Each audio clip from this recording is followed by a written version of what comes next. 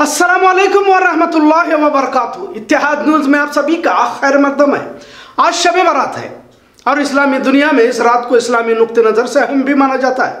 कुछ लोग इसे अपने बुज़ुर्गों को याद करने के साथ खुद अपने गुनाहों पर नदामत और माफ़ी तलाफी करने की रात मानते हैं। मगफिरत की रात भी कहा जाता है। तो कुछ लोग इसे इतना बड़ा चढ़ा कर पेश करने की ज़रूरत नहीं है, ऐसा भी कहते हुए देखा जाता लिहाजा आज की रात मस्जिदों में इबादत के साथ तकरीरें, नसीहत, बयानात भी करते हुए देखा जाता है। नफल इबादतों का कसरत से एहतमाम भी करते हुए मुसलमान पाए जाते हैं। शब बारात शाबान की पंद्रहवीं तारीख को मनाया जाता है और इसे रमज़ान के पहले रमज़ान की तैयारी के तौर पर देखा जाता है। पूरे साल में जो भी हमने गलतियाँ, कोताहियाँ, गुनाह किए हैं, उस पर अल्लाह रब्बुल इज़्ज़त से माफ़ी मांगते हुए मुसलमानों को देखा जाता है। एक हदीस में आता है कि अल्लाह के रसूल ने आज ही की रात कब्रिस्तान जाकर हमसे पहले जो गुजरे हुए लोग हैं, उनके लिए दुआएँ मांगी। अब इस पर भी अख्तलाफात राय देखी जाती है। खासकर शब बारात की रात नमाजें पढ़ी जाती है उम्र में दराजी के लिए, बला मुसीबत दूर होने के लिए रिस्क की तंगी से निजात पाने के लिए बारह रखात नफल नमाज़ अदा की जाती है। मुख्तलिफ़ मुल्कों में अलग अलग नामों से इसे मनाया जाता है। तुर्की में इसे बारात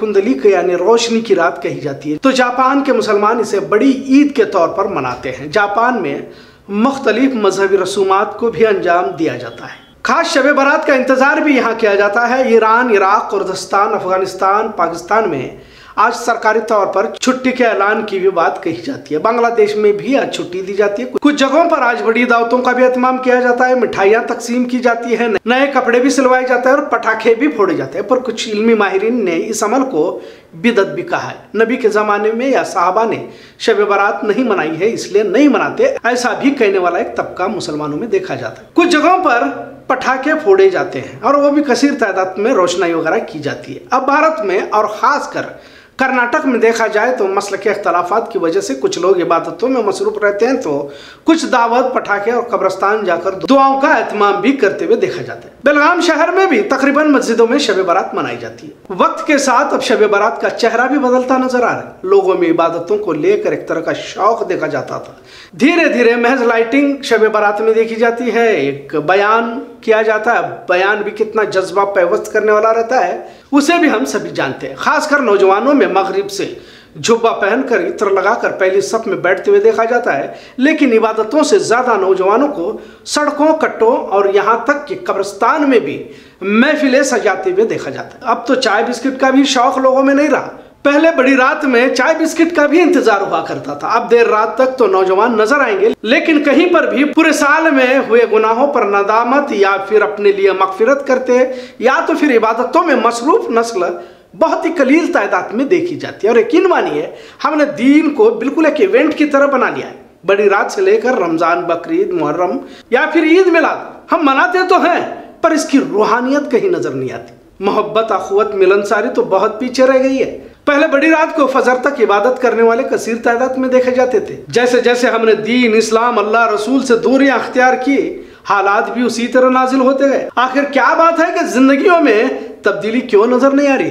उम्र के आखिरी पड़ाव पर एक नस्ल पहुँच चुकी है। इबादत इज्तम दीनी मजलिस मुजाकरे, ज़िक्र की महफिलें, बुज़ुर्गों के आस्थानों पर। भीड़, कंदोरी, छट्टी चिल्ला क्या क्या नहीं कर रहे? इन सब के बावजूद अल्लाह हमसे नाराज़ है। कहीं तो हमारी इबादतों में, हमारे अमल में, हमारी सोच और फ़िक्र में गलती ज़रूर हो रही।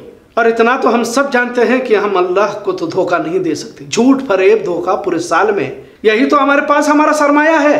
फिर किस मुँह से हम लाइट बंद करके रोते हैं? क्या अल्लाह हमारे अखलाक, अमाल से वाकिफ नहीं है? हमें असल में अपने अंदर तब्दीली लानी चाहिए। सिर्फ़ शब बारात में रोने से काम नहीं बनता। सुबह से शाम तक किसी अमीर साहूकार की चौकट पर माता रगड़ कर फिर अल्लाह के सामने आँसू बहाना महज ड्रामा नहीं तो क्या है? इसका ख्याल तो कम से कम रहे कि वो हमारे तमाम अमाल को देख रहा है। अब तक हमने गलतियाँ की लेकिन आने वाली ज़िंदगी के लिए क्या मंसूबा होना चाहिए? इसका एहसास हमें क्यों नहीं?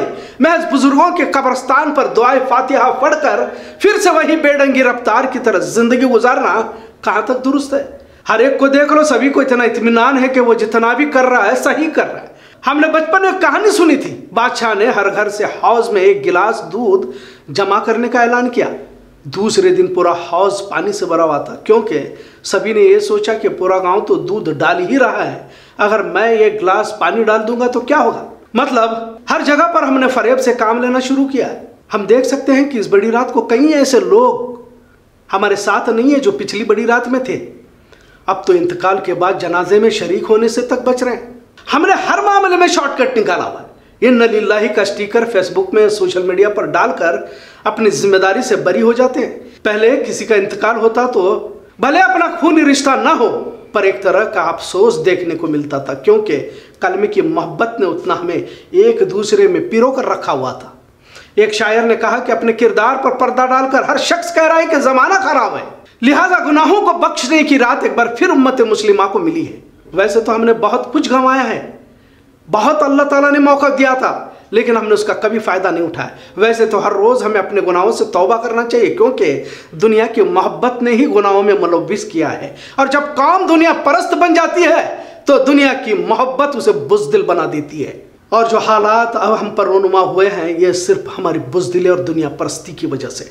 अल्लाह और उसके रसूल के दीन की अजमत, मोहब्बत धीरे धीरे कम होने लगी है। फिर जल्लत का एहसास भी खत्म होने लगता है। फिर किसी मखसूस दिन को हम जाग जाते हैं। हम मुसलमान होने का ढोंग करने लगते हैं। आज बड़ी रात को सब मिलकर हम दुआ मांगते हैं। अल्लाह से दुआ मांगते हैं कि अल्लाह हमें जुर्रत, हिम्मत और सच्चा मुसलमान बनाने की तोफीक दे। अफसोस दर अफसोस हमारे आँखों के सामने दी मिट रहा है। मुसलमानों को ज़िंदा जला दिया गया है। मुसलमान जलील और रसवा हो रहा है। यह हमारे अमाल का तो नतीजा है ही। हमारी बुजदिली ने हमें इस मुकाम पर पहुँचाया है। इसे हमें समझने की ज़रूरत है। जब भूखे पैसे मुफलिस मुसलमान घोड़ों की पीठों पर सवार होकर खजूर की छड़ियाँ लिए मैदान में उतरते तो वक्त की सुपर पावरों को भी अपने कदमों में लाकर खड़ा कर दिया करते थे। इनकलाबात और समाज में तब्दीलियाँ और अल्लाह की मदद मैदानों में आती है, क्योंकि तुम्हारी जानों का रिस्क वहाँ होता है, उस जगह पर होता है। एसी ठंडे फ़ैन, गालीचों में तस्बी के मन के और फ़र्ज़ आंसुओं से रहमत लाई नाजिल नहीं होती।